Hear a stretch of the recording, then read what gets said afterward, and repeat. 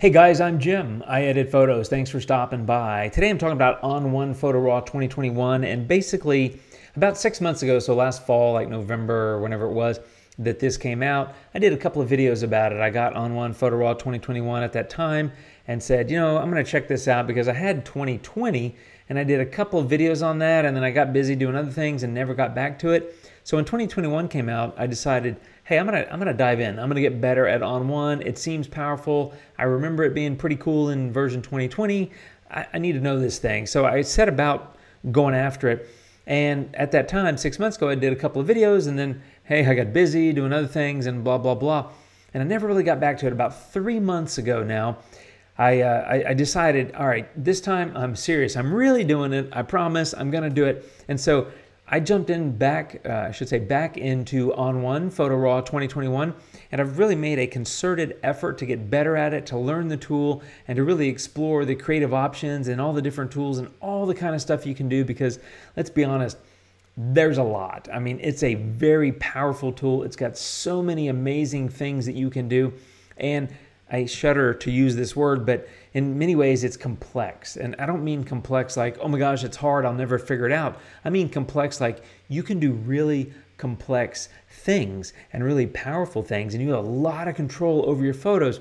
And sure, there's a learning curve, just like there is with anything, unless it's a one click automatic kind of adjustment. But despite that, it's not complex really once you get into it and start kind of what I call flipping rocks. You know, you're flipping rocks to see what's underneath them. And that's what I've been doing. And this flipping rocks approach has really taken me from a bit of a beginner. And I look at my early videos about On1 2021, and I was like, yeah, I didn't know it that well. And now I'm getting much more into it, the masking and all the different things you can do. So I want to walk through kind of an example of how I've kind of morphed from a don't know much about it to a, uh, a person that's you know, reasonably competent. I'm not an expert, I'm not a master of it. I'm pretty good.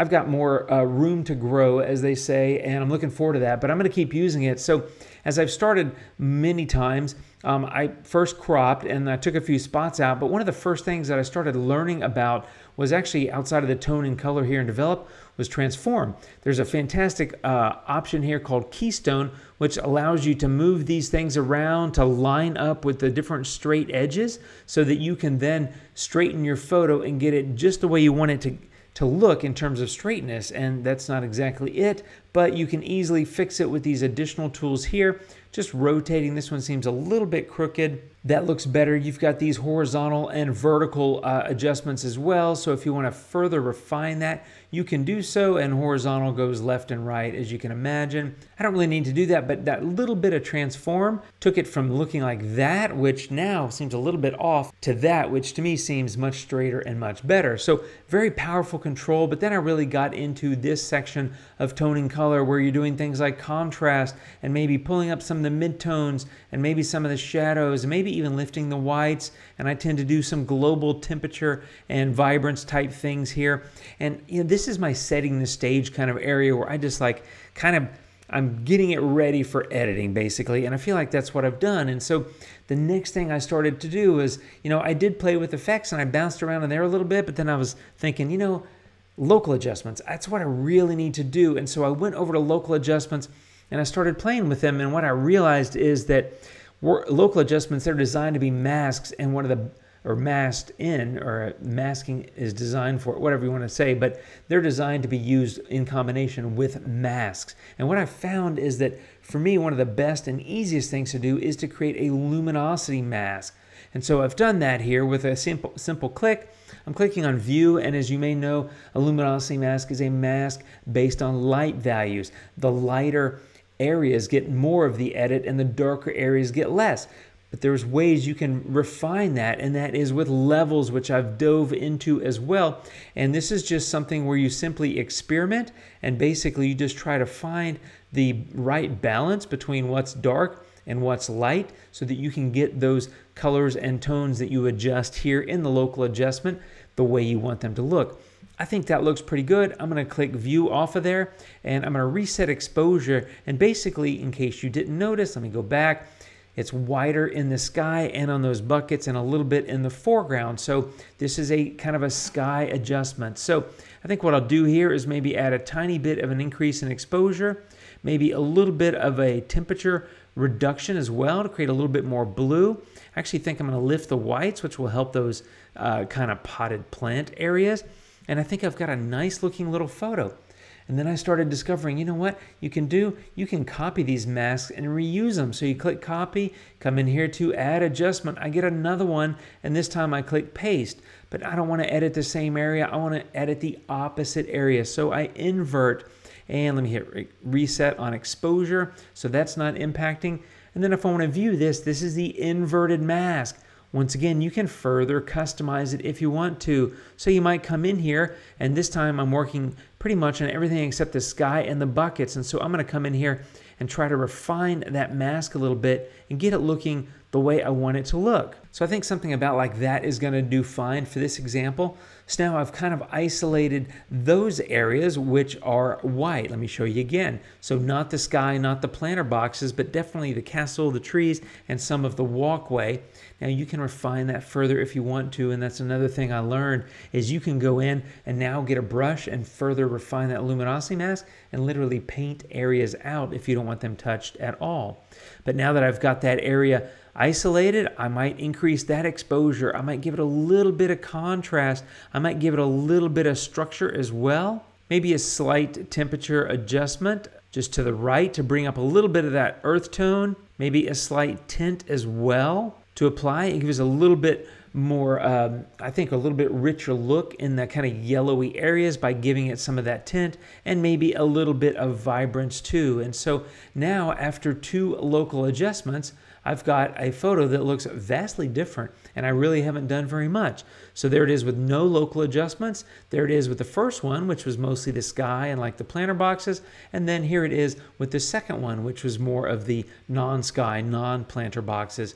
And then at this point in my experiments, I decided, hey, you know what else I'd like to do? I'd like to get better at effects. And so I came over to effects, and one of the first ones I really started playing with, and that's because it's an old habit, and that is HDR look, simply because on certain things like man-made structures, I kind of like to amp up that HDR look. But again, this was a masking thing for me where I came in and said, you know, I, I like it, but I don't want it everywhere. I want to control. How do I control that mask even better, in this case, than a luminosity mask?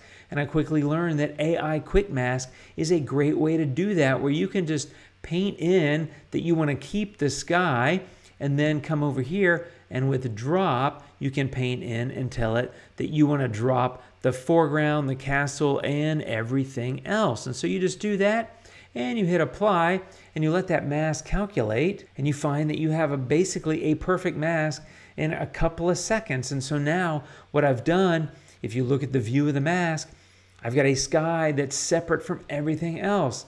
But I don't want that. I want the HDR look in the foreground. So once again, just a quick inversion, you flip it and you come over here and you apply HDR look to your heart's content to crunch up some of those foreground areas well, gosh, I really like that. So I'm going to copy that again and I'm going to go get dynamic contrast. And now I'm going to paint or paste that mask here so that I apply this in the same areas. And once again, I've created just a little bit more crunch in those foreground areas. But now I'm going to use dynamic contrast again because I really like this tool. And now I'm going to paste that one more time. But of course, this time I'm going to invert it because I want to apply this mask to the sky. And this is me just reducing the intensity of the clouds and just smoothing out that sky and creating a much softer look. And gosh, I really like that. So now I'm going to copy that mask and I'm going to go to add filter and I'm going to get color enhancer, which is, you know, a tool that I really like. And so here I'm to actually first, I'm to go and paste this mask so that I'm just working on the sky. And again, I'm just to cool it off a little bit and maybe create a little bit more vibrance as well. Maybe a little bit cooler and a little bit of saturation and a little bit of vibrance.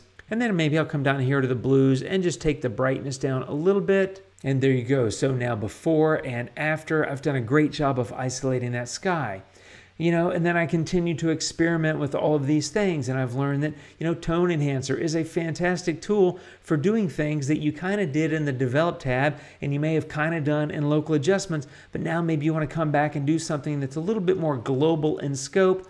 And even though you're on the effects tab where you might want to mask things in, you might want to come do a few additional things like add some detail or add some clarity and just give a little bit of extra kick to the photo overall And you can see the before tone enhancer and the after with a little bit of that clarity and detail and some of those other light and tone adjustments. And so the other thing I've done, and I won't cover all of the things I've been doing in these videos, is experimenting with all these different filters here because there's so many. I've used antique, I've used textures, vignette, you've got vintage, you've even got weather. We can drop rain and snow and things like that into your photo. You've got LUTs, which I've really grown to love. You've got lens blur, so you can simulate things like tilt shift effects. And of course, you've got blur and borders. You got so many different tools, and that's really what I've been doing is figuring out how can I dive in and really learn this product and get from you know, somewhat of a beginner to a, you know, more advanced user. Again, not an expert, not a master. I've got a long way to go. In fact, there's so much in ON1 that I haven't even touched on.